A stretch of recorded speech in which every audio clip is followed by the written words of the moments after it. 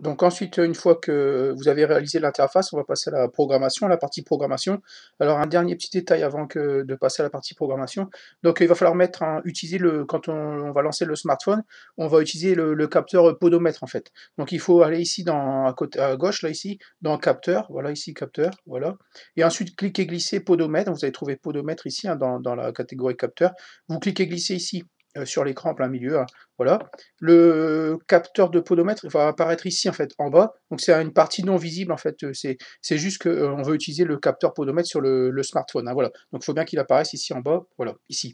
Donc de temps en temps, comme d'habitude, faites projet, enregistrer le projet. Voilà. Voilà. Et maintenant, on va passer à la partie programmation. Donc, vous cliquez ici en haut à droite sur bloc. Voilà, bloc. Voilà.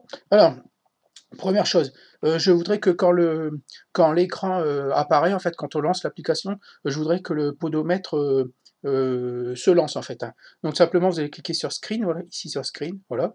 Donc quand alors vous cherchez quand screen 1 initialise, voilà, donc ici, voilà.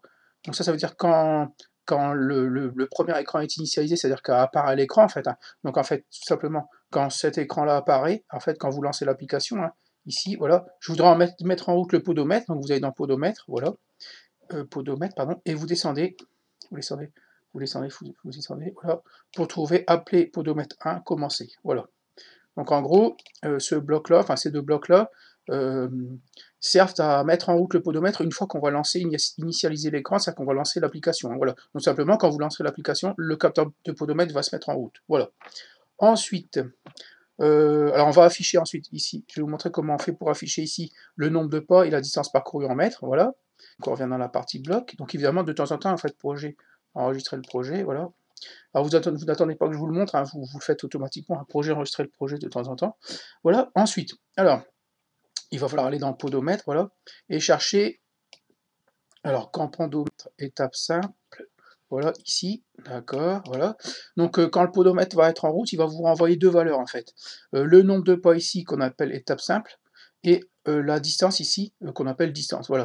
Donc en fait quand le podomètre va se mettre en route, tout simplement on va renvoyer deux valeurs. Donc le nombre de pas ici, donc étape simple, c'est le nombre de pas, hein, et la distance ici en mètres, ici, voilà. Donc en fait on va se servir de ces deux valeurs-là, qu'on va mettre en fait ici, à la place de, de, en attente pour le nombre de pas, et la place de en attente pour distance parcourue, voilà. Donc c'est bien ici qu'on veut afficher le nombre de pas et euh, la distance parcourue, c'est-à-dire que ici dans nombre de pas, NB, NB underscore pas, on va indiquer le nombre de pas, et ici dans euh, distance underscore parcourue, on va afficher la distance parcourue. Hein, voilà. Donc on les retrouve ici, alors on les retrouve ici, NB, voilà, et distance parcourue, donc c'est ici, donc pas dans les titres, hein, c'est bien ici qu'on va afficher le nombre de pas euh, et la distance parcourue. Hein.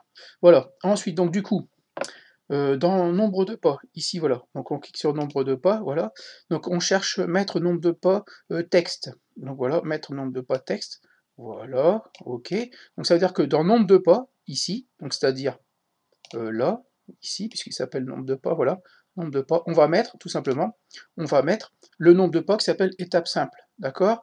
Donc vous pouvez même juste en cliquer, cliquer enfin, approcher la souris dessus, voilà, obtenir, Hop, et voilà, vous n'avez même pas besoin d'aller chercher. Alors sinon, euh, euh, voilà, donc voilà comment. Hein. Donc dans nombre de pas, euh, au niveau du texte, on met étape simple, et étape simple, on sait qu'ici que le podomètre envoie, étape simple, le nombre de pas, voilà.